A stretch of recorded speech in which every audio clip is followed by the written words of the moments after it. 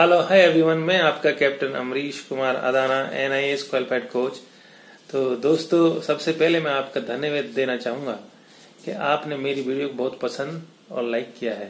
तय दिल से मैं आपका अभिनंदन करता हूँ।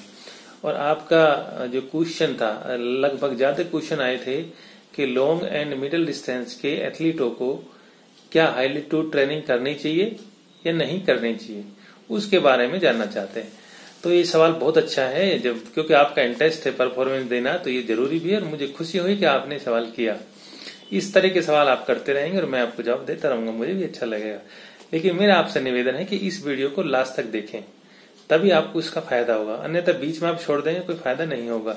चलो, अभी हम चलते हैं उस मुद्दे पर। हाई एल्टीट्यूड ट्रेनिंग क्यों आवश्यक है?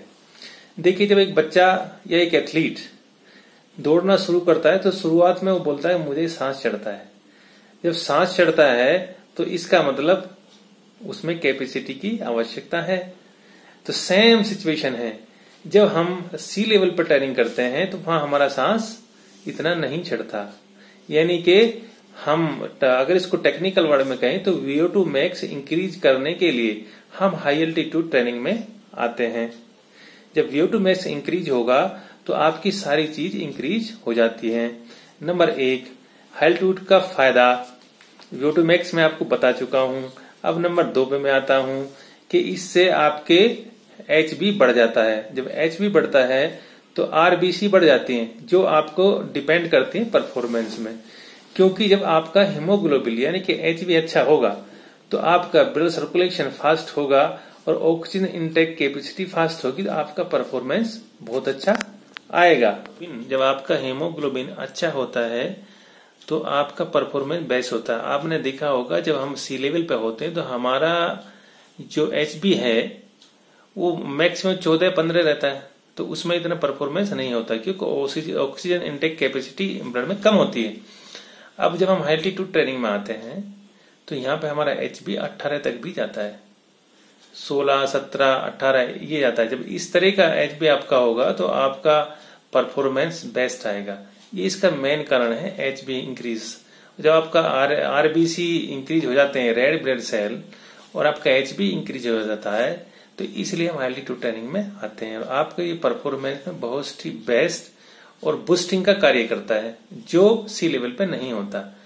जब हम यहाँ से सी लेवल पे कपड़े कंपटीशन के लिए जाते हैं तो कई लगभग सांस हमें नहीं चढ़ता एक दो राउंड में तो पता ही नहीं लगता कैसे गया हमारा टारगेट होता है, हम सिक्सटी टू का राउंड लगाएँगे और वो सिक्सटी या सिक्सटी वन का चला जाता है। उसका कारण है ये हाईल्टीट्यूड ट्रेनिंग इसलिए आवश्यक है लॉन्ग एंड मिडल डिस्टेंस के लिए ट्रेनिंग करना हाईल्टीट्यूड ट्रेनिंग में। अगर आप बेस्ट परफॉर्मेंस चाहते हैं तो।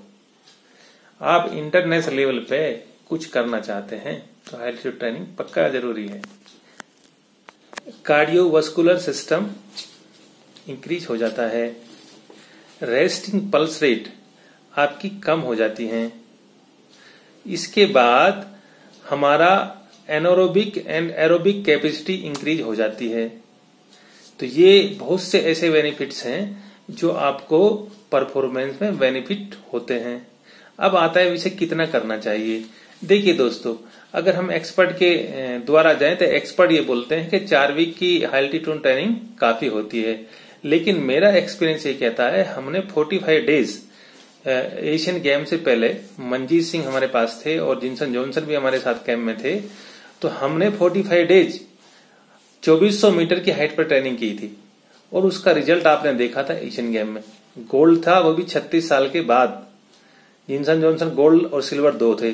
तो वो असर था व्यू टू मैक्स का, क्योंकि आपकी व्यू टू मैक्स जो कैपेसिटी थी रेस्पेक्टिव सिस्टम था ऑक्सीजन इनटेक कैपेसिटी लेने की सारी इंक्रीज हो चुकी थी। इसलिए वो परफॉर्मेंस आप देख रहे थे कि फिनिशिंग में भी हवा की तरह जा रहे थे, क्योंकि वो कैपेसिटी हाई अल्टीट्यूड का ही असर था। अब आते हैं हाइट की बात।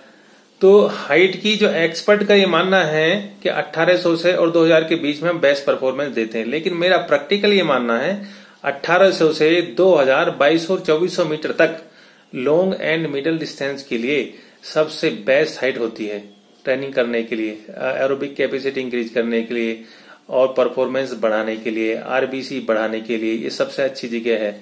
और जब आरबीसी यदि सारा सिस्टम आपका इंक्रीज हो जाता है तो आपको सीधी भाषा में कहें तो आपको सांस चढ़ना बंद हो, जाता है क्योंकि ब्लड में ऑक्सीजन लेने की जो कैपेसिटी इनटेक कैपेसिटी है वो बढ़ जाती है। फिर आपको सांस नहीं चढ़ता।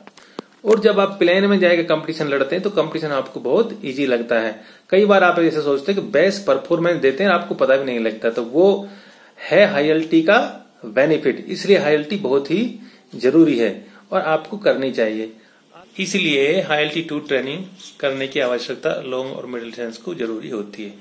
और जब ये हेल्थ टू ट्रेनिंग कर लेते हैं परफॉर्मेंस बेस्ट आता है तो ये मेरे विचार से कहें, और एक बेस्ट परफॉर्मेंस आपको लेना है तो आप सी लेवल से अगर आते हैं तो सबसे पहले आप आए 1800 मीटर की हाइट पर, या बेंगलोर है 1200 मीटर की हाइट पर, उसके बाद आप जाए 2400 मीटर हाइट पर ऊटी, और फिर हम कंपटीशन में जाते हैं तो आपका बेस्ट परफॉर्मेंस था, अगर हम चार साल कंटिन्यू अप एंड डाउन करके इस ट्रेनिंग को करें क्योंकि पहले हम कंपटीशन के लिए वापस यहाँ ट्रेनिंग करें, फिर कंपटीशन के लिए जाएँ, कुछ दिन वहाँ सी लेवल पर रहें और फिर वापस आए।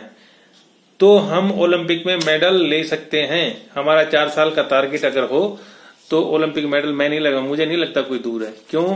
कि चार साल और continue training up and down medal अवश्य आ सकता है। ये मेरा मानना है। क्योंकि हम इस चीज़ का फ़ायदा नहीं उठाते। कितने लोग हाई एल्टीट्यूड में ट्रेनिंग करते हैं? बहुत कम। अगर इस पे हमारा ध्यान दिया जाए तो इंडिया में बहुत अच्छी अच्छी जगह है हाई एल्टीट्यूड ट्रेनिंग के लिए। जैसे हमारी हिमाचल में है, हर्षल। या उसके बाद अब हम देखते हैं ऊटी में है वेलिंगटन में है। वेलिंगटन की बेस्ट जगह 1800 मीटर में बहुत शानदार है। सेंथेटिक्स ट्रक है ऊटी में, इसका हम फ़ायदा उठा सकते हैं। और ये सारी चीज़ें हमारे इंडिया में हैं, लेकिन इनका हम फ़ायदा नहीं उठाते। अगर हम फ़ायदा उठाएँ तो हम बेस्ट परफॉर्मेंस इंडिया के लिए मेडल दे सकते हैं। ये मेरा विश्वास कहता है। और इसी का नतीजा है कि आप देख रहे हैं कि अभी वर्ल्ड चैंपियनशिप में हाई अल्टीट्यूड का ये असर था कि अविनाश सामले वर्ल्ड चैंपियनशिप के फाइनल में जाने वाला इंडिया का पहला भारतीय एथलीट था। और इस इवेंट में तीन हज़ार मीटर स्टीबल चेस में पहला ही भारतीय है जो ओलंपिक क्वालिफाई किया अभी तक। तो वो असर किसका है? क्योंकि हम हाई अल्टीट्यूड में ही ट्रेनिंग कर रहे थे और उसका यह असर है परफॉर्मेंस। और अभी भी हम उसी की तैयारी कर रहे हैं। आशा करता हूँ कि मेरी वीडियो आपको पसंद आई होगी। आप इसको लाइक कीजिए, सब्सक्राइब कीजिए। इसी के साथ आपका कैप्टन अमरीश कुमार आपसे विदा लेता है। जय हिंद, जय भारत। अगली ट्रेनिंग की वीडियो लेकर फिर मैं आऊँगा। जय हिंद, जय भारत।